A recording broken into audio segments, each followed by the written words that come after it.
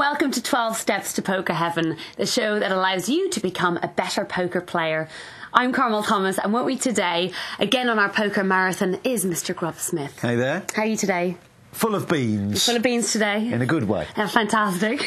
now, in our last episode, we show you how to play poker before and after the flop.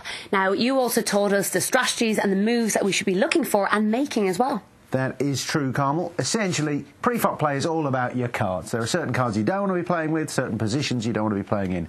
Post-flop, it becomes a slightly more inventive, slightly more intellectual game where you're trying to bluff your opponents, you're reading them a lot more, you've got more information. Mm-hmm. Absolutely, and uh, today we're going to take your game two steps further. That's right, we'll begin with step five common mistakes made by newcomers. That includes poker tells, those little physical twitches that allow people to know whether you've got a good hand or a bad hand. And I've got to tell you, it's not just newcomers who make those mistakes. Then, step six, the art of bluffing. We'll be talking about semi bluffs and pure bluffs. It's a vital part of the game. You can't wait for the best hand in poker. Sometimes you've got to make a move with absolute rags.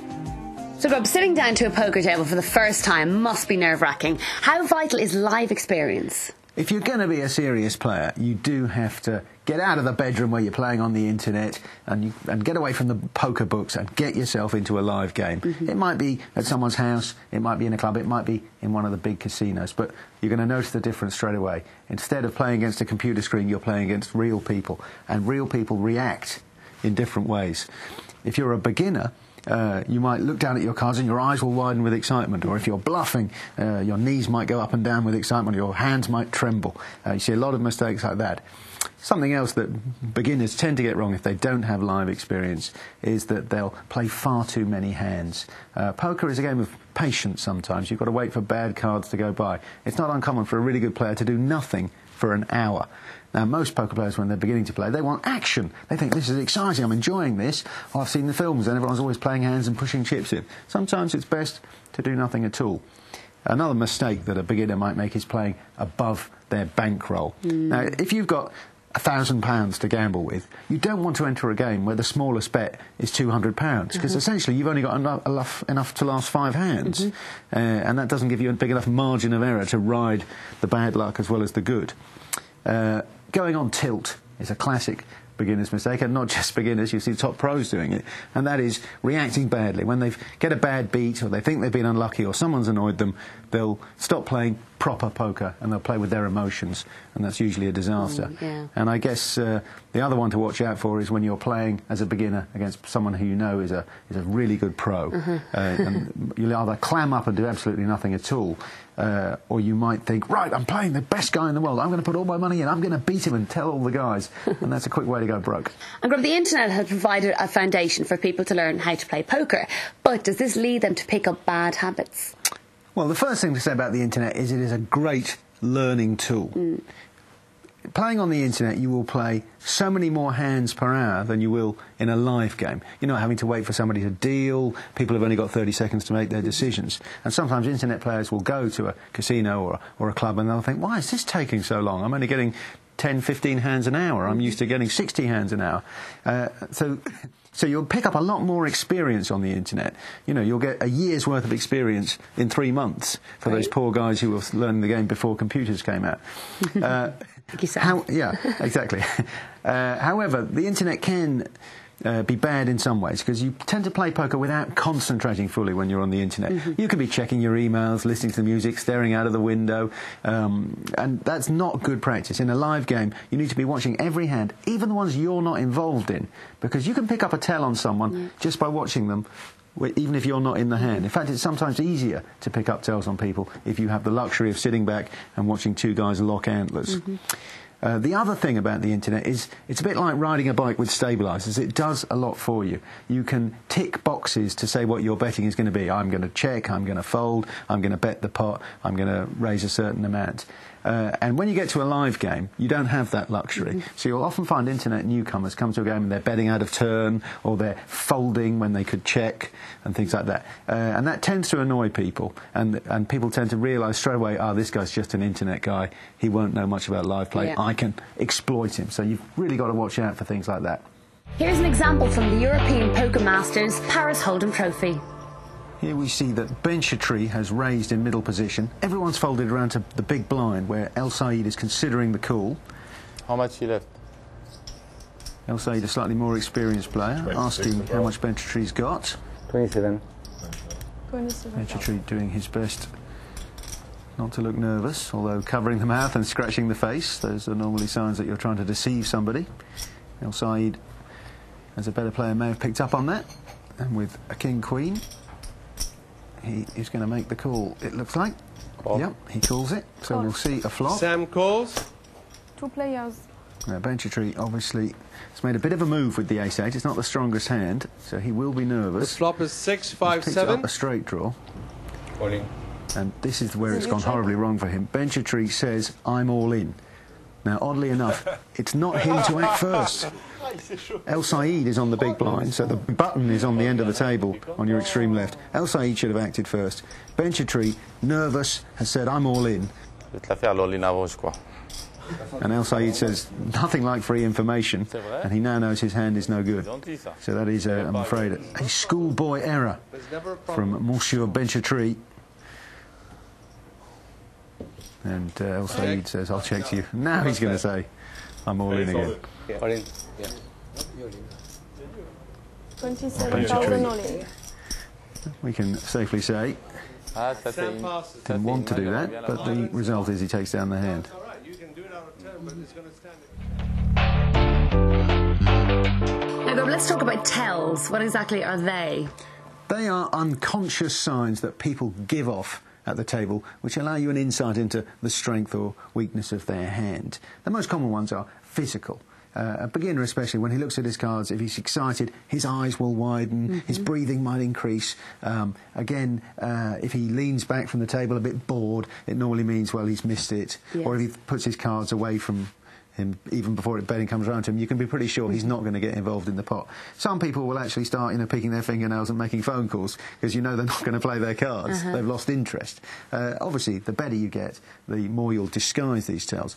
Uh, another one is uh, when players get slightly better, they know that they should keep their face as still as possible and try not to have their fingers trembling. But if you look under the table, if you lean back just a little bit and look under the table, sometimes you'll see someone tapping their leg or tapping their foot because nervous energy has to get out of the body. It's very, very hard to actually do nothing when you're excited. So that usually means that somebody's bluffing or mm-hmm. they've got a monster. So you have to, mm-hmm. you know, that experience will tell you which it is. Uh, then there are signs like someone looking at their chips when the flop comes down. You should always be watching your opponents rather than staring at the ceiling or at your cards when the flop comes down, because that is obviously giving a lot of information to people about the strength of their hands. And if you look at somebody, he sees the flop and then he looks at his cards, he's probably checking to see has he made a straight, has he made a flush, oh look, there are three clubs there, do I have the ace of clubs? Again, a good player will look at his cards pre-flop, he'll know what they are, he'll memorise them and never have to look at them again. So that's kind of one tell you can easily cut off just with a bit of preparation at the beginning of the hand. Uh, another one would be uh, the way people bet.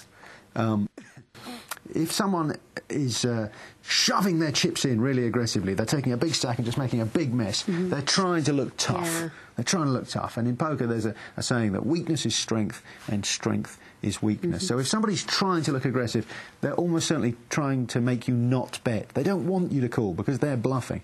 Whereas if somebody sneaks into the hand and goes, oh, oh well, I might as well call, I'm a little bit reluctant and you can probably bully me off this one, that's when you've got to watch out because mm-hmm. they're probably going to snap the claws on you and you'll be in trouble.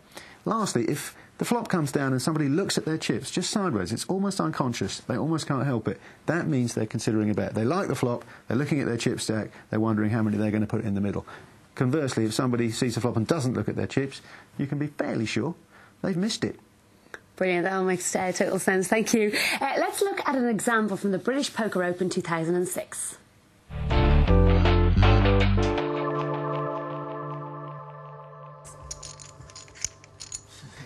Just the blinds in action now. Koresh calling from the small blind and a minimum raise from George Fraser with the 7-6. It seems you got a big one every hand, George. If you're going to get cute with a 7-6 pre-flop, you want to make a bigger raise, try and get people out. You George don't really want to see giving a flop. the big one. Three. Well, that I said, he has made trip sevens on the flop, so that's a perfect result for George. Three. Koresh checks it, and George checks it. That's the right move. Now George has got a full house. Koresh is going to bet out. Well, George should call Koresh's 6,000 bet. He definitely shouldn't raise it. He wants to see another card, try and let Koresh have enough rope to hang himself. Raise. But here you can see the fingers trembling, and he's made a raise. Now, this is just too much information for Koresh to call. Shaking quite a lot, George. Though. I'm an old man. So that's why you don't have anything to lose. I'm always shaking. I'm one of the hardest. George saying he's shaking because he's an old man, but Koresh has been in too many card rooms flush to lose not not to see the writing on the wall. He knows his 10 queen is no good now. And George really didn't maximise his opportunity there. In poker, you want to minimise your losses and maximise your winnings. And when you get a full house, you really want to be milking the cow for as much as you can get.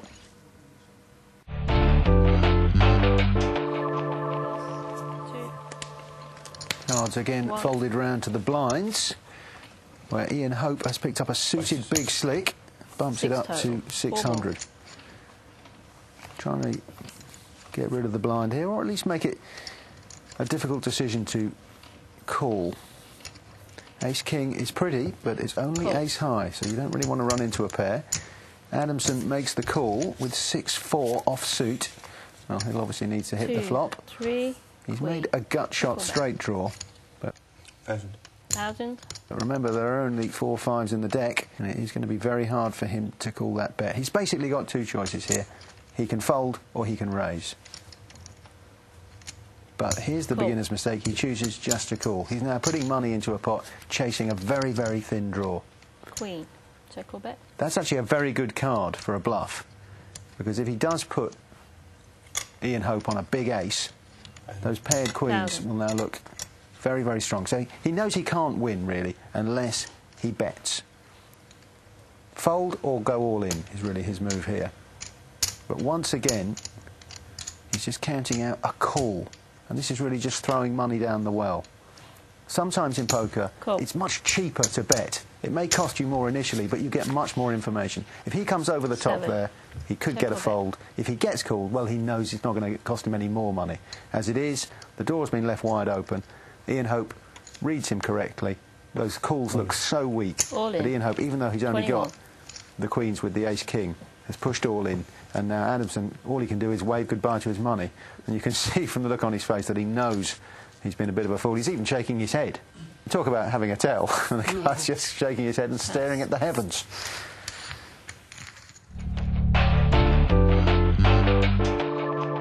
So experience really is vital at the poker table. Yes, it's like anything. Although poker is quite an easy game for a beginner to do well at. As long as you've got the right instincts, the experience you can pick up in a matter of months. And we've seen relative beginners actually win the World Series of Poker main event. So it's not like, you know, snooker or cricket where you probably have to spend 10 years as an apprentice before you get anywhere. Within poker, within about six, seven months, you can be a very, very good player. Fantastic. Well, uh, join us after the break. We'll be taking you through the art of bluffing at the poker table.